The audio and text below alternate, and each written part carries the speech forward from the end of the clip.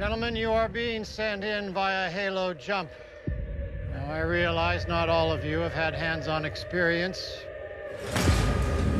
Frankly, none of us have ever faced a situation quite like this one before.